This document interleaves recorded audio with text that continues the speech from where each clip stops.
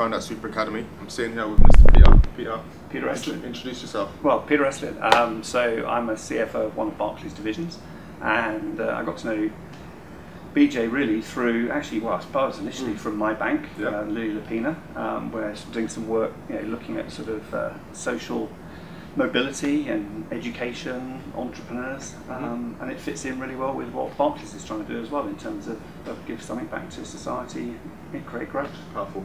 Uh, just give us a top, a top line look at your career thus far. my career fus- uh, so, uh, chartered accountant so I qualified chartered accountant um, you know, in one of the big uh, big accounting firms which was great fun Mhm. good fun um, but then I got sort of asked by one of the banks I was working for uh, to do some work for them Mhm. so I did great opportunity got me to go and live in Hong Kong and then worked in the States um, but I missed London Mm. at the end of the day I like the culture I like the you know um, and it's home I suppose in many ways so came back and um, you know, Barclays was the place. Uh, I felt it was innovative. Yeah. Um, obviously, we've had the financial crisis, haven't been great, um, but you know, we're now, I think, trying to get back to where we should have been, um, rebuild trust, and uh, you know, get a little bit more engagement and excitement. If you were to start your career again, um, and you start Monday, just done a fresh degree, and you're looking at the world as it is today, Yeah. so the digital economy, you've got the financial economy still growing, Yeah. and Yeah. you've got a sharing economy, there's so many new innovations out there. Yeah.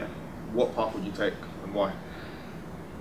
So I think at the end of the day, you've got you've got to go with your heart. Mhm. You've got to go with your passion. Um, and for me, you know, yeah, blogging and journalism sounds great, but I was never great at writing. You know, I'm a numbers guy. Um, but digitization is here, you know, and that is revolutionising banking. I Mhm. mean, you've got mobile, um, and there's all sorts of, of sort of app capabilities. Mhm. So it's really, I mean, to me, getting into that lane, you know, collaborating, sharing a little bit of knowledge, but trying to find that sort of niche, uh, Mm. niche element. I think it creates some excitement. I mean, it, it, it has its downsides. It's like, well, where's tomorrow going? But you've got, if you've got it if in your heart and you believe it's sort of uh, where you're going to go, then I, I would do that. Having said that, I have got a love of cooking. Mhm. Um, but the problem is, is you know, cooking is sort of a little bit more personal and sort of intimate.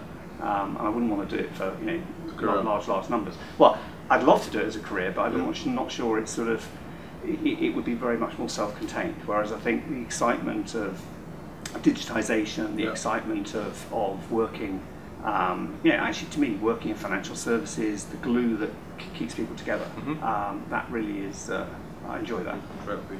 Um, and your top tips for entrepreneurs of today? So I think it really comes down to four things. All right, you know, you've got to have that business model, and that's got to come from the heart. You so you've got to understand, you know, what it is you're going to be producing, what your service is, you know, what your customer base is. It, it's got to be ingrained, and it's got to be robust. Now, in developing that business model, you've got to develop your advisory network, Mhm. um, and you know, it could be a a group of half a dozen friends. It could be broader, but you've got to build that network, use it as a sounding board. Um, third, as you get in, as you start that business momentum, you know, cash is king. Mhm. Um, you said it, I've said it. I mean, ultimately, you know, you, you've you've got to look at where you're going to get your funding from. Totally. Yeah, income can be starting to roll in, but then it's going to be your costs. You know, and it's the hidden costs. It's things like insurance or licenses, all the things that maybe you haven't planned for. Um, and then lastly, you know, it, it, it's developed both that network and that advisory group. So whether it's uh, accounting friends, legal friends, um, people who can give you a slightly broader feel as your business grows, because there are other challenges out there, and getting that breadth of experience is going to be, uh, or talent to, to add to your to your ideas is going to be great. Amazing. Well, Mr. Peter, thank you for the conversation. Good luck today. You know, it's going to be a great day. Perfect. Brilliant.